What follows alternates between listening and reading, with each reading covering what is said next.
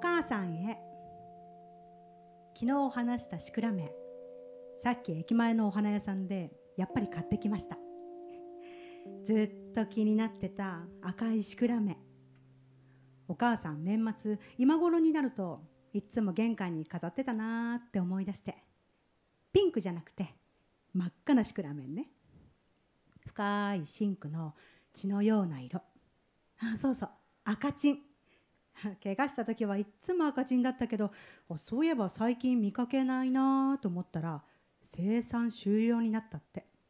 この間ニュースになってました。昭和がどんどん遠くなっていきます。どんなものにも出会いがあると思います。花や物だけじゃなく人も仕事も自分の手元にやってくる縁みたいなものがあると信じています。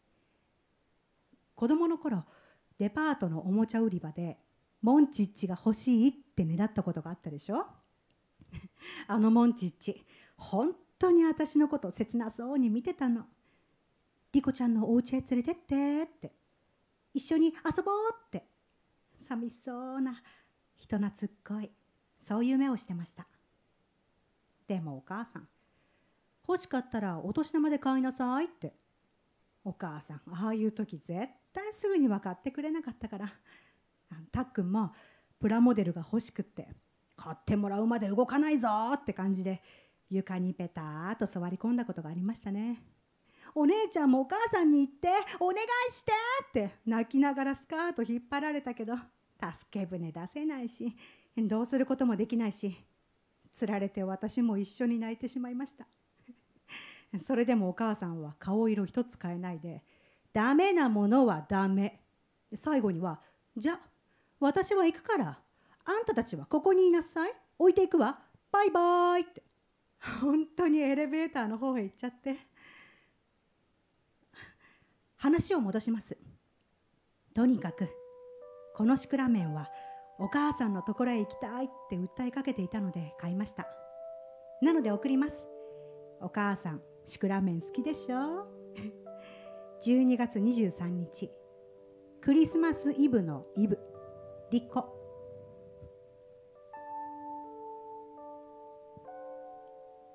リコちゃんシクラメン届きました。ありがとう。よく覚えてましたね。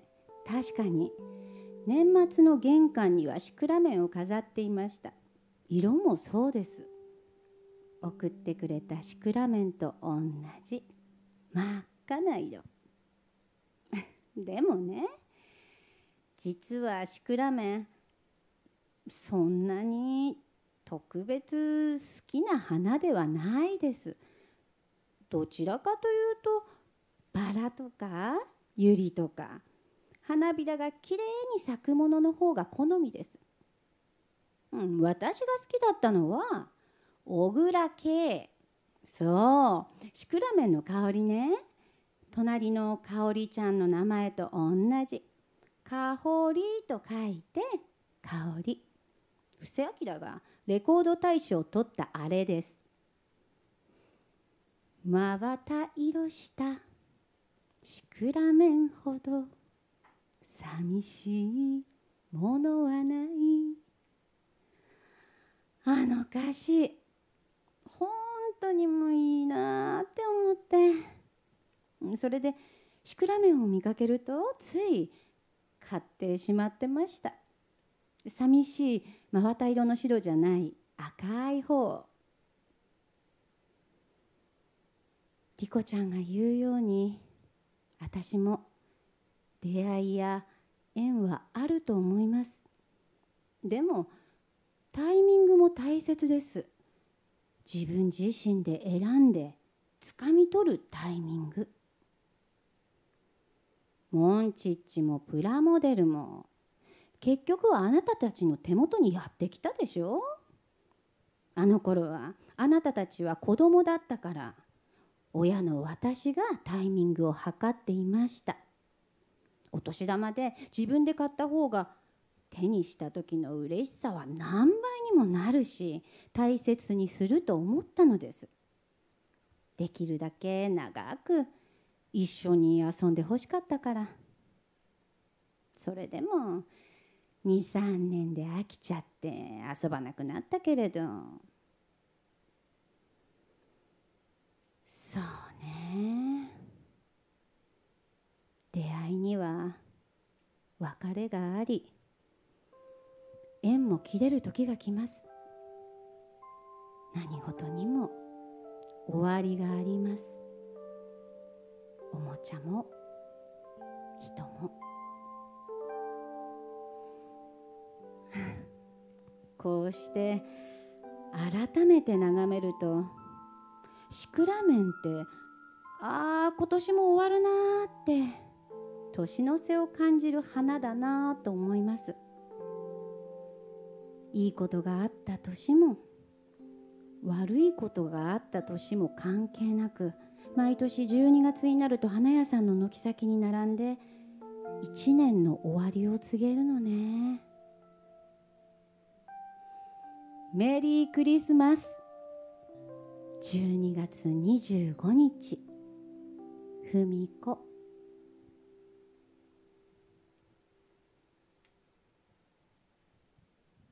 お母さんお正月今年は会えなかったけどどう過ごしてましたか？お父さんと久しぶりの夫婦水入らず。きっとお父さんは相変わらず亭主関白で何でもお母さんに頼って忙しいお正月だったと思います。こないだくれた手紙で何事にも終わりがあるって書いてくれたけどあれからその終わりについて深く考えました。クリスマスからの1週間年を越してもずっと考え続けています。確かにモンチッチはもう私の手元にはないしいつ捨ててしまったかも覚えていないけれど確かに人もいつかは死んでしまうけれど私は縁というものは切れないと信じています。自分から断ち切らない限り永遠に。友達が年賀状の代わりに手紙をくれたので紹介します。覚えてる？短大の時の友達まみちゃん。もちろん覚えてるわよ。目のクリッとした綺麗な子だったわねまみちゃん。そう。そのまみちゃんからの手紙。読むね。うんリコちゃん大変ご無沙汰しております。喪中はがきをいただいてお母様のご逝去を知りました。遅ればせながら慎んでご冥福をお祈りいたします。リコちゃんのお母様の思い出といえばひろみの軽井沢での結婚式の日。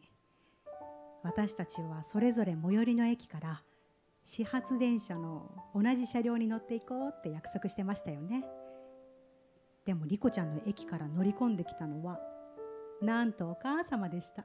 ごめんね。もううちのリコ寝坊しちゃって。結婚式には絶対間に合うように次の電車で行くから。先に行ってて。本当にごめんね。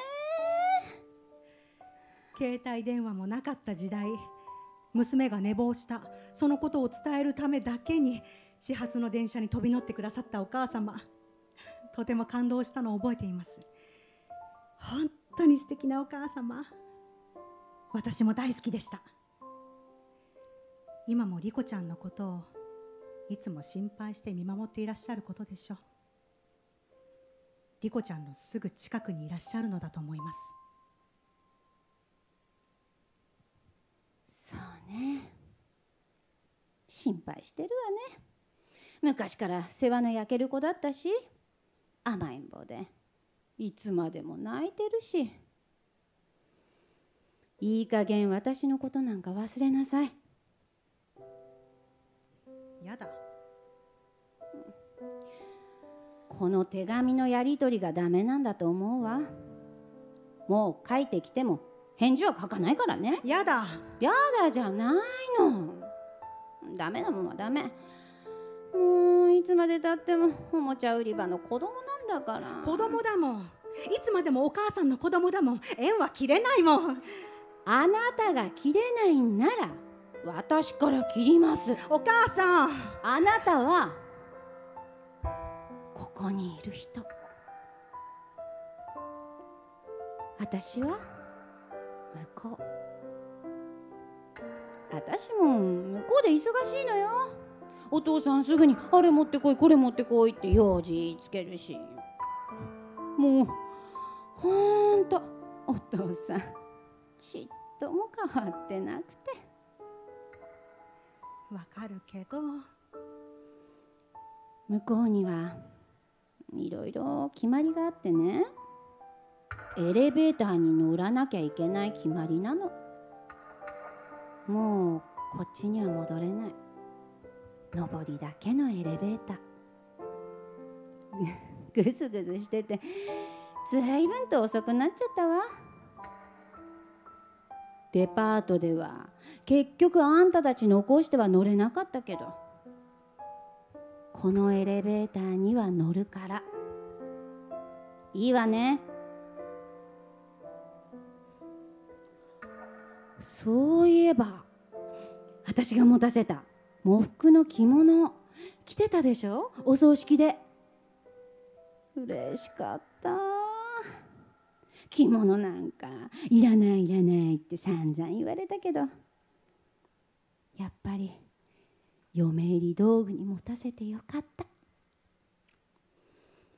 来てくれてありがとううんさあそろそろ行くわね。お母さん。あーシクラメン。え？シクラメンの歌詞。間違ってたわよ。寂しいじゃなくてすがしい。すがしい？そう。すがすがしいの。すがしい。でもお母さん寂しいって歌ってた歌ってたじゃない。この間手紙で真綿色したシクラメンほど寂しいものはないって。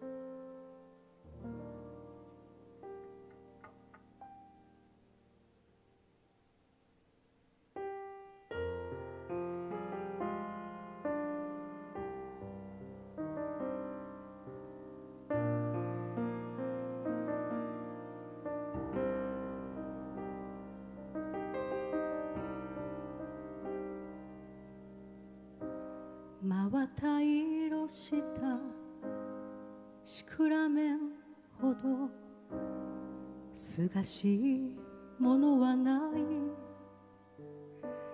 出会いの時の君のようです。戸惑いがちにかけた言葉に驚いたようにく君に季節が頬染めて過ぎて行きました。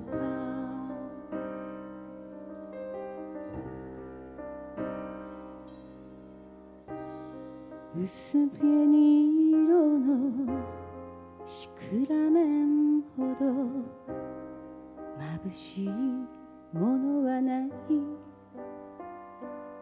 恋する時の君のようです。木漏れ日浴びた君を抱けば寂しささえも置き去りにして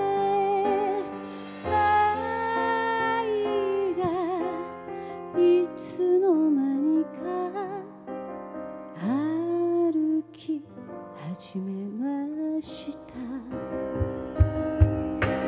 疲れを知らない子供のように。時が二人を追い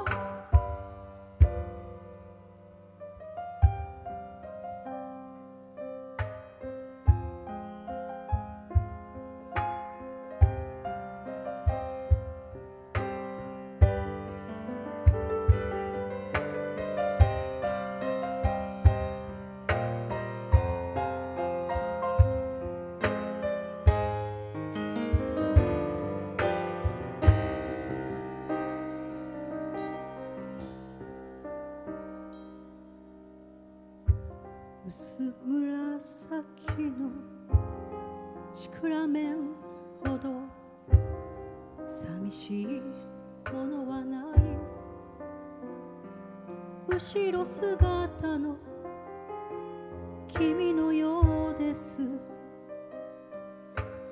暮れ惑う街の別れ道にはシクラメンの香りしく揺れて季節が知らん顔して過